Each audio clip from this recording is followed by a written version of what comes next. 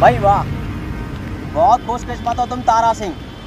तो Airtel service centre में तुम्हें बुलाया गया है। तो सोच क्या रहे हो? क्या तुम्हें एयरटेल 4G कबूल है? आदमी की सबसे बड़ी ज़रूरत है फ्री कॉलिंग और इंटरनेट तुम्हें एयरटेल कबूल है या नहीं? फोर जी स्पीड तो सभी की बराबर है। तुम्हें एयरटेल कबूल है या नहीं? कबूल है। भाई माशा अल्लाह सुबहान अल्लाह चलो सर्विस सेंटर में चल के पूरे एतमाद और एहतिकाज के साथ। रुक जाइए काजी साहब। पहले कंफर्म तो हो जाने दीजिए कि एयरटेल का पक्का यूज़र बनने लायक है या नहीं। अगर तुम्हें एयरटेल 4G कबूल है तो बोलो। एयरटेल 4G जिंदाबाद। एयरटेल फोर जी जिंदाबाद। एयरटेल फोर जी जिंदाबाद। एयरटेल फोर जी जिंदाबाद।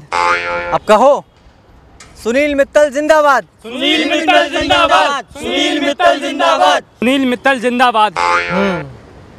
अब कहो रिलायंस जियो मुर्दाबाद। ये ऑनलाइन खेल क्यों खेल रहे हैं आप मेरे साथ? आपका एयरटेल फोर जी जिंदाबाद है इससे हमें कोई आपत्ति नहीं।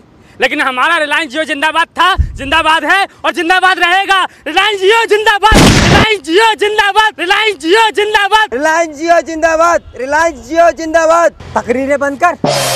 जब तक तू जियो मुर्दाबाद नहीं कहेगा तब तक हमारे स्टाफ को कैसे यकीन आएगा कि तू एयरटेल का पक्का यूज़र है? एयरटेल फोर जी से ज़्यादा यूज़र रिलायंस जियो के पास हैं। लेकिन उनके दिलो दिमाग की धड़कन यही कहती है कि रिलायंस जियो जिंदाबाद। तो वो क्या पक्के यूज़र नहीं है? बाबागिरी बंद कर।